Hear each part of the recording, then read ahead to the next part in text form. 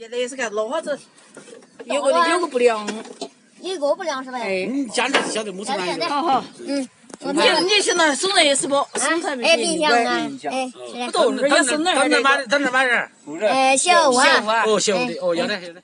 好，朋友们，这个就是小昨天去修那个送那个冰箱上门的时候，人家给我的一台这个电笔称说是这两个灯有一个灯不亮。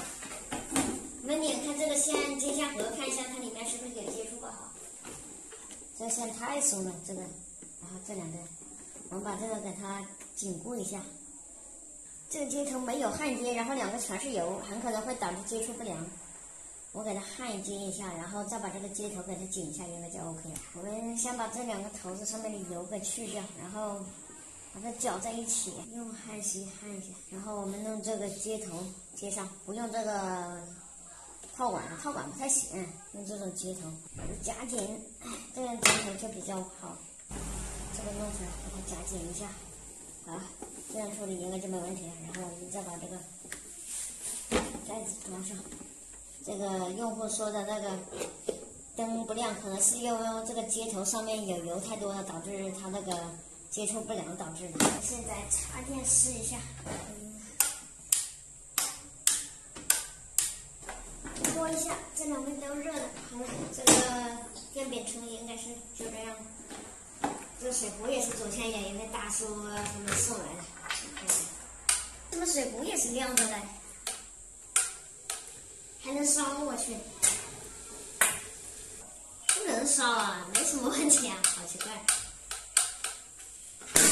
交换一边吧，这个是看起来是没问题。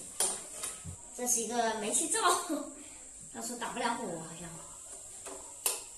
没反应，也没听到吱吱响啊。这一回我们有上次拆那个煤气炉的经验，那这次就知道怎么拆了。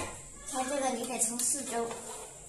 割开，这个炉子比上次那个炉子涂的胶少多了。我，这是个开关的线断了，这是被老鼠咬的了？这里线断了，我发现，把这个线接上，说不定它就好了。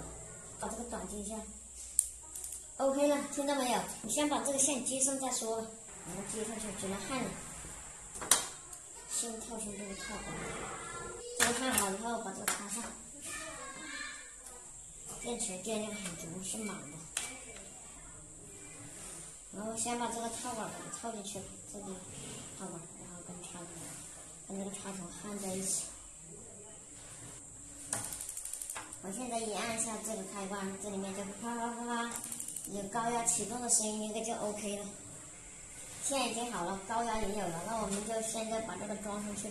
然后在这两边涂上胶水，然后再把这个这个放上来。